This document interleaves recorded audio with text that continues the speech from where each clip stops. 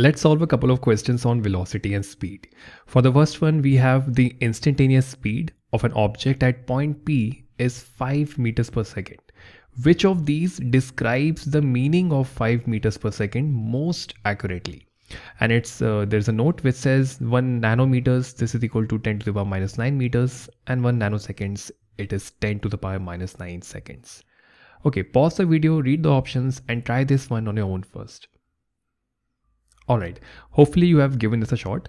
Now we need to choose one answer. So let's start reading the options. The option, the first one says object covered 5 meters in a time interval of 1 second near point P. So let's say if this is point P, then in 1 second the object covered 5 meters and we need to think about if this statement is the most accurate description of of this one that the instantaneous speed of an object at point P is 5 meters per second. Now this could be the most accurate description if the object was moving with a constant speed, constant speed of 5 meters per second. Then we can say yes that the object will cover 5 meters in a time interval of 1 second near point P. But we don't really know that. We just know the instantaneous speed of an object at point P. So just at the instant when the object is at point P, there the speed is 5 meters per second. We do not know what the speed is after point P or before point P. So we don't have that information and therefore we cannot really say that the object will cover 5 meters in a time interval of 1 seconds. This is not the most accurate description of only this statement, instantaneous speed 5 meters per second. Second one says object covered 5 nanometers in a time interval of 1 nanoseconds near point P. So this would mean this would mean that before or after in a very very very small time interval for 1 nanoseconds the object is covering a distance of 5 nanometers. This would mean so if, if we write if we write 0 0.000 uh, 1 2 3 4 5 6 7 8 9 5 nanometers divided by 1 nanosecond. 1 2 3 4 5 6 7 8 9 1 nanosecond. So we can see still that the ratio still comes out to be equal to 5 meters per second. So this could very well be true that that near point P, if the instantaneous speed of an object at point P is 5 meters per second, so near point P, it is covering a distance of 5 nanometers in an interval of 1 nanoseconds. So when talking about instantaneous speed, we need to look at the distance covered in a very, very small time interval of time around the point P to get an accurate picture. Now, the smaller the time interval, the more accurate our description. And since 1 nanoseconds is smaller time interval than 1 second, this option, this option is more accurate than the first option. In the first option, this statement will only be true if the object is moving with a constant speed. But if the speed of an object is changing, then we need to look at the distance covered in a very small interval of time around point P to get an accurate picture. And the smaller the time interval, more accurate is the description. Option C says both descriptions are equally valid.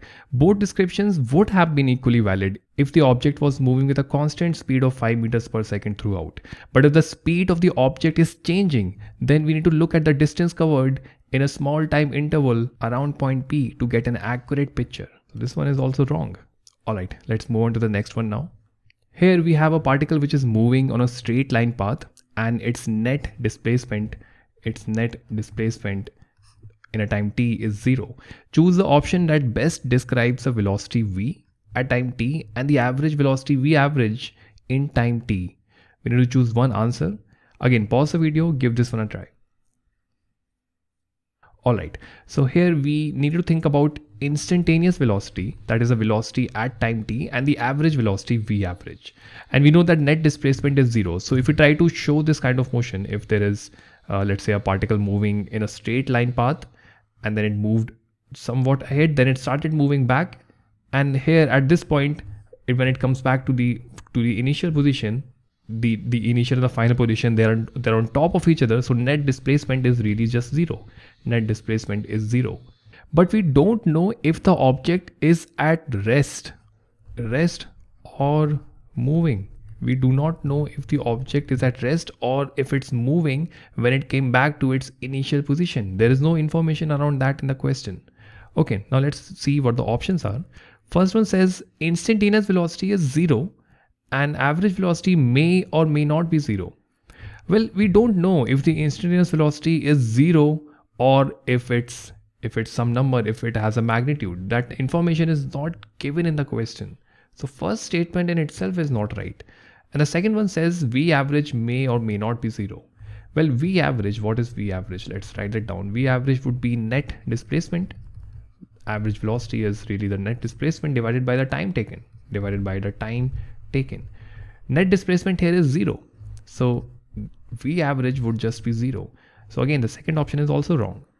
B1 says V may or may not be zero and V average is zero. We just discussed that V, the instantaneous velocity at this point, object could be moving, it could be at rest. We do not really know. So the, the this part makes sense and V average is zero because the net displacement is zero. So option B is the right one and we need to choose one answer but still let's look at the other two options. Both V and V average may or may not be zero. Well, this is true for instantaneous velocity because it could be moving or at rest, but V average is zero. We just calculated it. And the last one says both V and V average are equal to zero. Again, this is wrong because V, we do not know if instantaneous velocity at that particular time instant, at this very instant, we do not know if it is zero or if, if it has some magnitude. So V average is zero, but V is not. And therefore option D is also wrong. You can try more questions from this exercise in this lesson. And if you're watching on YouTube, do check out the exercise link, which is added in the description.